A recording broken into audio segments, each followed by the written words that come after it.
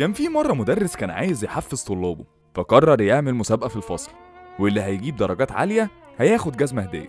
فالطلاب فرحوا جدا وبدأوا المسابقة فعلا بس المشكلة إن كلهم جابوا درجات عالية. فالمدرس احتار يدي الجزمة لمين فالطلاب اقترحوا إنهم يكتبوا أساميهم كل واحد في ورقة ونختار ما بينهم عشوائي. فعجبت المدرس الفكرة ونفذوها.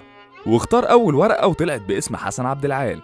فحسن طلع استلم الجايزة اللي هي الجزمة الجديدة وكان فرحان جدا والأرض مش سايعاه من الفرحة. لأنه كان نفسه في جزمة جديدة وأهله معرفوش يشتروا له واحدة جديدة بسبب حالتهم المادية والفصل كله كان فرحان فرحة مش عادية. فالمدرس شك في فرحة الطلاب دي ففتح ورقة تانية من الأسامي اللي موجودة لقاها باسم حسن عبد العال برضه واكتشف إن الورق كله باسم حسن عبد العال. فالمدرس عينه دمعت واتعلم من الطلاب بتوعه درس عمره ما هينساه طول حياته.